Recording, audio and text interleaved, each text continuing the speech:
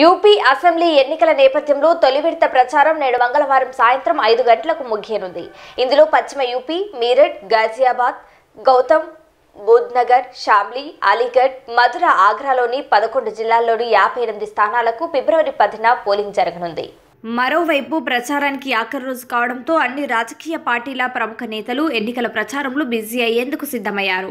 ప్రధాని నరేంద్ర మోదీ నుంచి సీఎం యోగి ఆదిత్యనాథ్ ప్రియాంక గాంధీ వరకు ఈరోజు యూపీలో భారీగా ప్రచారం చేయనున్నారు. ఉత్తరాఖండ్ పంజాబ్ ఉత్తరప్రదేశ్ ఎన్నికల్లో ఈరోజు ప్రధాని మోదీ ఒక్కో బహిరంగ సభలో వీడియో కాన్ఫరెన్స్ ద్వారా ప్రసంగించనున్నారు. సాయంత్రం ఐదు గంటలకు యూపీలోని రాంపూర్ బౌధన్ మరియు సంపాల్లో జిల్లాల్లోని పదిహేను అసెంబ్లీలపై దృష్టి సారించి బహిరంగ సభను నిర్వహించనున్నారు. దీనికి ముందు ఉత్తరాఖండ్లోని నైనిటాల్ జిల్లాల ఉధమ్ సింగ్ నగరంలోని పద్నాలుగు అసెంబ్లీలకు మధ్యాహ్నం రెండు గంటలకు ప్రధాని మోదీ బహిరంగ సభను నిర్వహించనున్నారు.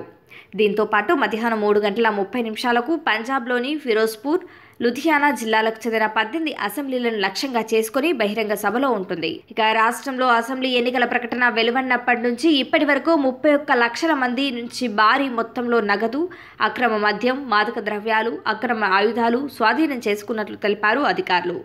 ఎన్నికల ప్రధాన అధికారి అజయ్ కుమార్ శుక్లా ప్రకారం ఇప్పటి వరకు ముప్పై ఒక్క లక్షల మంది ఎన్నికల్లో అవకతవకలను పాల్పడ్డారు. పోలీసుల చర్యల్లో ఇప్పటి వరకు యాభై తొమ్మిది కోట్ల నగదు దాదాపు ముప్పై నాలుగు కోట్ల అక్రమ మద్యం ముప్పై రెండు కోట్ల మాదక ద్రవ్యాలు స్వాధీనం చేసుకున్నారు. ఎనిమిది పాయింట్ నాలుగు మూడు లక్షల ఆయుధాల డిపాజిట్ అయ్యాయి. కేంద్ర మంత్రి కిషన్ రెడ్డి వ్యాఖ్యలపై మంత్రి కేటీఆర్ నిప్పులు చెరిగారు తెలంగాణ ఎదుర్కొంటున్న సమస్యలపై స్పందించకుండా అనవసర విషయాలను మధ్యలోకి తెచ్చి దుష్ప్రచారం చేస్తున్నారని మండిపడ్డారు. కేంద్ర మంత్రి కిషన్ రెడ్డి మాజీ ఎమ్మెల్సీ రామచంద్రరావు చేసిన ట్విట్టర్కు కేటీఆర్ ఘాటు రిప్లై ఇచ్చారు.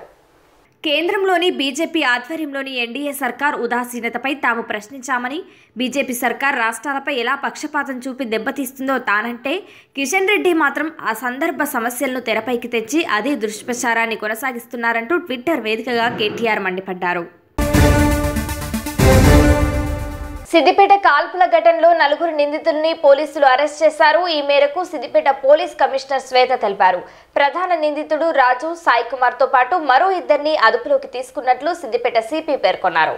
ఎనీవే రిజిస్ట్రేషన్స్ uh, ఎక్కువగా జరిగే అవకాశం ఉందని బాగా ప్రచారం జరిగినందున ఆ రోజు సిద్దిపేట సబ్ రిజిస్ట్రార్ కార్యాలయంలో అయితే ఎక్కువగా uh, క్యాష్ దొరికే అవకాశం ఉంది అని ముందే ప్రీ ప్లాన్ చేసుకొని uh, తనను కుక్నూర్పల్లికి పిలిపించుకోవడము ఆ తర్వాత సిద్దిపేట రిజిస్ట్రేషన్ ఆఫీస్లో ఒక దగ్గర ట్రాన్సాక్షన్ జరుగుతుంది అని గమనించి డ్రైవర్ తన తన ఆ క్యాష్ని తీసుకొని ఇన్నోవాలో పెట్టుకుంటున్నాడు అనే విషయాన్ని కళ్ళారా చూసి ముందే అనుకున్న పథకం ప్రకారంగా ఆ డ్రైవర్ ద ఒకడే ఉండడము ఆ డ్రైవర్ దగ్గరికి వెళ్ళి తన్ని తుపాకీ చూసి బెదిరించి తను రెసిస్ట్ చేస్తే అదే క్రమంలో తుపాకీని కాల్చి తనని హత్యా ప్రయత్నం చేయడము దాని ద్వారా తర్వాత తన కారులో ఉన్న సొమ్మును కూడా తీసుకొని పారిపోవడం జరిగింది. ఈరోజు నిన్న నిన్న పొద్దున ఎడమ సాయి కుమార్ని అదుపులోకి తీసుకున్నాక మొత్తం నేరం యొక్క వివరాలు వారు నేరం చేసిన విధానం కూడా బయటపెట్టడం నలుగురు నేరస్తులు కూడా వారు చేసిన నేరాన్ని ఒప్పుకున్నారు.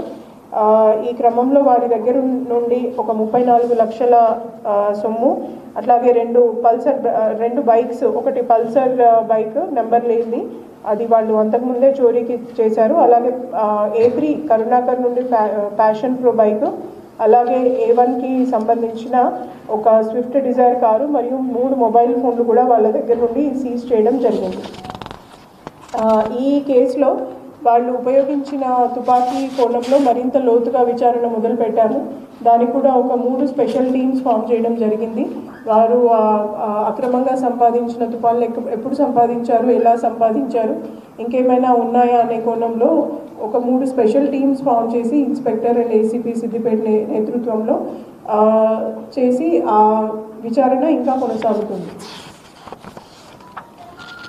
అయితే ఈ విషయంలో ఈ కేసు జిల్లా వ్యాప్తంగా ఎంతో చర్చనీయాంశమైంది ఆ రోజు రిజిస్ట్రేషన్స్ ఎక్కువ ఉండడము అంతే మొత్తంలో తుపాకీ ఉపయోగించి అంత పెద్ద నేరం చేయడం సెన్సేషన్ అయింది.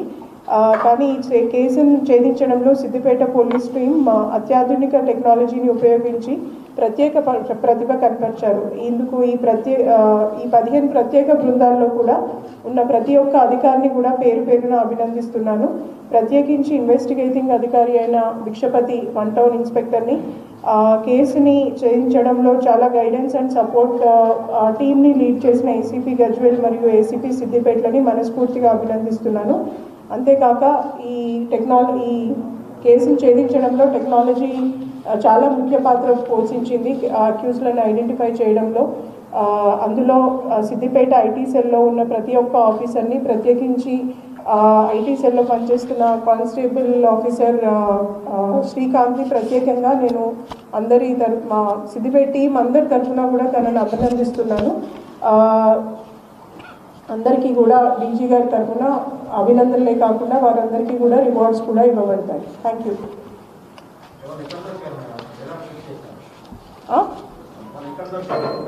వాళ్ళు? నిన్న ఎడమ సాయి కుమార్ నిన్ని నిన్న పొద్దున మేము అనుమాన మన మా ఇన్వెస్టిగేషన్లో భాగంగా ఆయన పోలీస్ స్టేషన్కి తీసుకురావడం జరిగింది. అక్కడ తను నేరాన్ని ఒప్పుకున్న తర్వాత కొండపాక మండలం మంగోల్ గ్రామంలో ఏ టూ గర్జరాజుని మరియు అదేవిధంగా మిగతా వాళ్ళని ఏ త్రీ కరుణాకర్ని కీసర బ- బండ్లగూడ బండ్లగూడ గ్రామం కీసర మండలంలోను అలాగే ఏ ఫోర్ని ఏ ఫోర్ని బోయిగూడలో అదుపులోకి తీసుకొని వాళ్ళని ఈరోజు పొద్దున కోర్టు ముందు హాజరుపరిచాం ఆ ఆ కోణంలో లోతుగా దర్యాప్తు చేయడానికి మూడు స్పెషల్ బృందాలు తయారు చేయడం జరిగింది. వాళ్ళు డెడికేటెడ్గా వెపన్స్ గురించే ఇన్వెస్టిగేషన్ చేస్తారు. ఆ ఇన్వెస్టిగేషన్ వివరాలు తెలియగానే డెఫినెట్లీ అందరికీ చెప్పబడతాయి. నిందితులకు ఉన్న నేర చరిత్ర ఏంటి అనేది కూడా మాకు ఇన్వెస్టిగేషన్కి ఇంకా టైం కావాలి వాళ్ళని పోలీస్ కస్టడీ తీసుకున్నప్పుడు వాళ్ళ నేర చరిత్ర కూడా తెలుస్తుంది. ప్రస్తుతానికి మటుకు వాళ్ళు ఆల్రెడీ ఒక పోక్సో కేసులో సిద్దిపేట వన్ టౌన్ పోలీస్ స్టేషన్లోనే అరెస్ట్ అయినట్టు మటుకు ఇమీడియట్గా తెలిసింది. వాళ్ళు ఇమీడియట్గా చెప్పారు బట్ వాళ్ళకి అంతకుముందు ఇక్కడే కాకుండా రాష్ట్ర వ్యాప్తంగా కూడా ఏదైనా నేరాల్లో ఇన్వాల్వ్ అయి ఉన్నారా? ఆ, ఎట్లాంటి నేరాల్లో ఇన్వాల్వ్ అయి ఉన్నారు అనే దానికి రాష్ట్ర వ్యాప్తంగా కూడా ఒక మెసేజ్ చేయడం జరిగింది. ఆ మెసేజ్కి వచ్చే రిప్లై ఆధారంగా మరియు మేము పోలీస్ కస్టడీ వేసుకొని చేసే విచారణ ఆధారంగా వాళ్ళ నేర చరిత్ర కూడా ఇంతకుముందు ఉన్న నేర చరిత్ర కూడా బయట పెట్టడం జరుగుతుంది. So far thirty four lakhs recovery చేశాం ఇంకా మూడు లక్షలు ఎంత కదా? నలభై మూడు లక్షలు పోయింది థర్టీ ఫోర్ ల్యాక్స్ రికవరీ చేశాము. తను కొంత సొమ్ము తను అప్పు తీర్చుకోవడానికి వాడుకున్నాడు. ఆ సొమ్ముని ఇంకా రికవరీ చేయాల్సి ఉంది.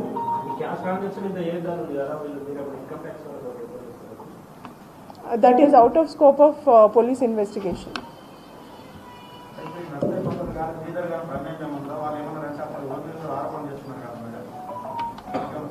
ఎవరికండి?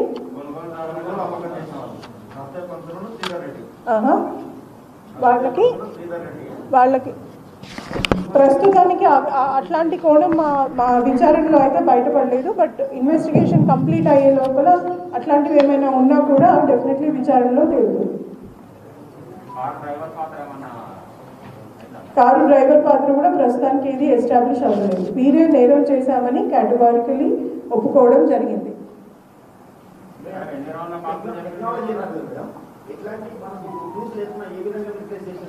టెక్నాలజీ ఉపయోగించి చేశాం.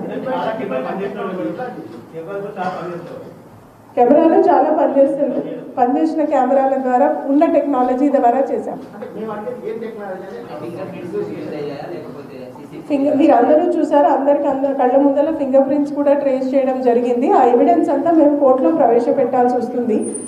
ఆధారానికి ఇంటిగ్రిటీ ఉండాలి అంటే అది పబ్లిక్ మెటీరియల్ అయి ఉండకూడదు.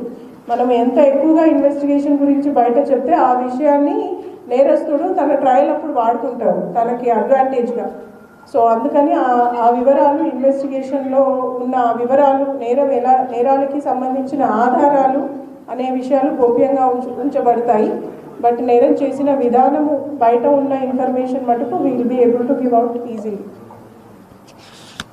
any other question నలుగురు. ఇంకా ఎవరెవరివి ఉన్నాయి అనే కోణంలో తర్వాత దర్యాప్తు కొనసాగుతుంది. సాయి కుమార్ పోలీస్ స్టేషన్కి తీసుకొచ్చి ఫస్ట్ పోలీస్ స్టేషన్లోనే అదుపులోకి తీసుకోవడం జరిగింది. మేము తీసుకొచ్చడం జరిగింది.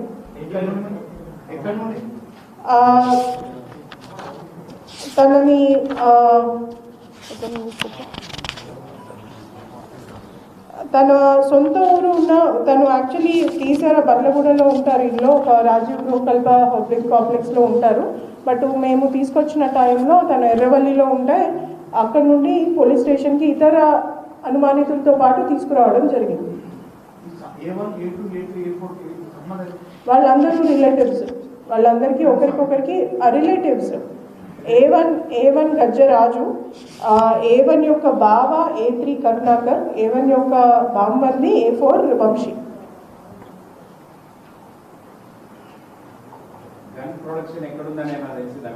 గన్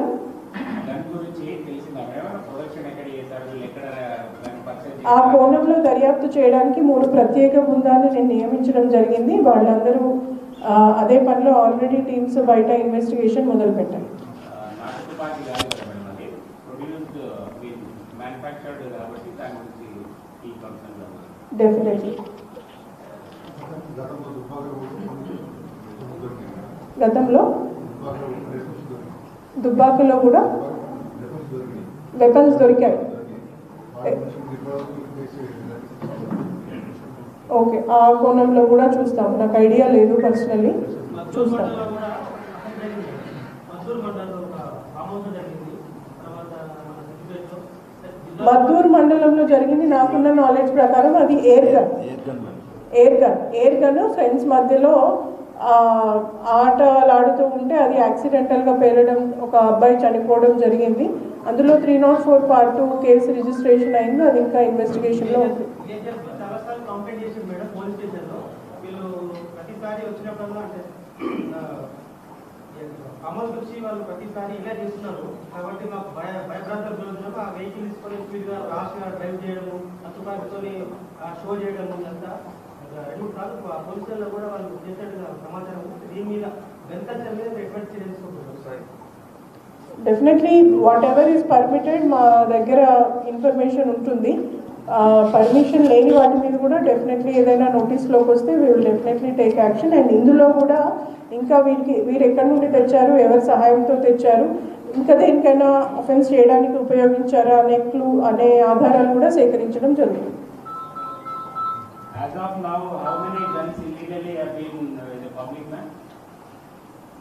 ఏంటండి? Uh, as of now, according to your concern, you may expect how many illegal guns have been in the district? illegal guns as of now this is one uh, gun that is illegally there on record Intelligence report of that. on i cannot disclose my intelligence report because it is intelligence report licence కూడా కూడా licence license presently నా దగ్గర లేదు but definitely i can give information on how many licensed weapons are there in the district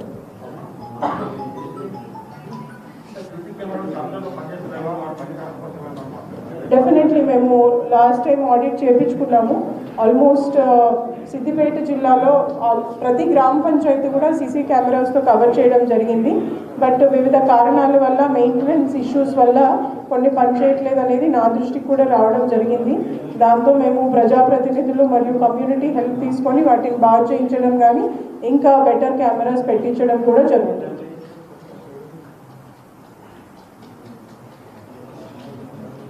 Any other question?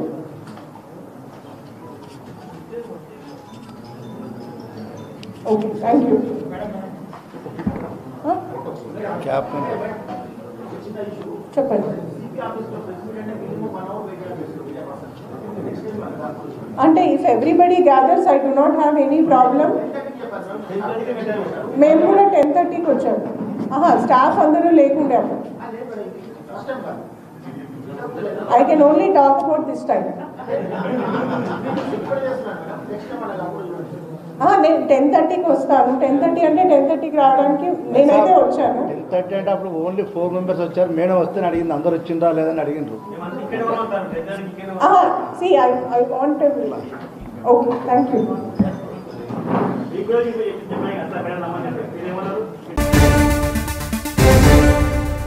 ప్రజలు తిరస్కరించినా Congress party బుద్ధి మారడం లేదంటూ ప్రతిపక్ష కాంగ్రెస్ పార్టీపై ప్రధాని మోదీ విమర్శలు గుప్పించారు రాష్ట్రపతి ప్రసంగానికి ధన్యవాద తీర్మానంలో ప్రధాని మోదీ సోమవారం లోక్సభలో మాట్లాడుతూ కాంగ్రెస్ పార్టీపై నిప్పులు చెరిగారు मान्य अध्यक्ष जी इस सदन में गरीबी कम करने के भी बड़े बड़े आंकड़े दिए गए लेकिन एक बात भूल गए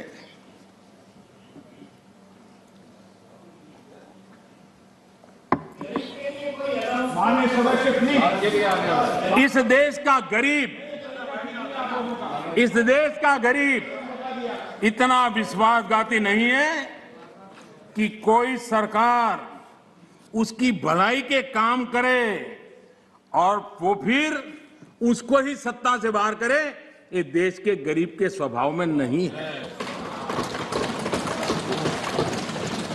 आपकी ये दुर्दशा इसलिए आई क्योंकि आपने मान लिया था कि नारे देकर के गरीबों को अपनी चुंगाल में फंसाए रखोगे, लेकिन गरीब जाग गया। गरीब आपको जान गया। इस देश का गरीब। इतना जागरूक है कि आपको 44 सीटों पर समेट दिया 44 सीट पे लाकर के रोक दिया। कांग्रेस 1971 से गरीबी हटाओ के नारे पर चुनाव जीतती रही थी। 40 साल बाद गरीबी तो हटी नहीं, लेकिन कांग्रेस कांग्रेस सरकार ने नई परिभाषा दे दी। मान्य अध्यक्ष जी, देश के नौजवानों ने इन बातों को जानना बहुत ज़रूरी है। और अध्यक्ष जी, आप देखिए कि ये डिस्टर्ब तब करते हैं कि उनको अंदाज आता है चोट बड़ी गहरी होने वाली है। उनको मालूम है, उनको मालूम है कि मुसीबत में फंसे हैं आज। और कुछ लोग बोल करके भाग जाते हैं और जेलना ऐसे बेचारों को पड़ता है।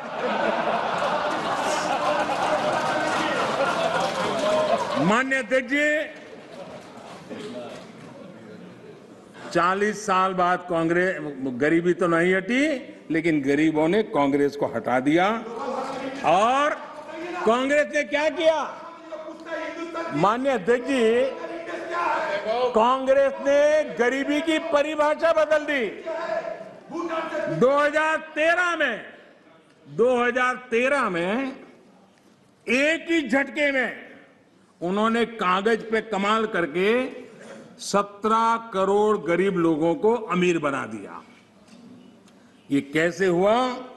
इसकी सच्चाई देश के युवाओं को पता होना चाहिए। मैं आपको उदाहरण देता हूँ। आपको मालूम है, हमारे देश में पहले रेलवे में first class, second class, third class होता था। जो फ़र्स्ट क्लास होता था, एक लाइन लिखी रहती थी दरवाजे के बाजूगल में, सेकंड क्लास में दो लिखी रहती थी, थर्ड क्लास में तीन। इनको लगा ये थर्ड क्लास वाला जरा मैसेज ठीक नहीं है तो उन्होंने एक, एक लाइन निकाल दी।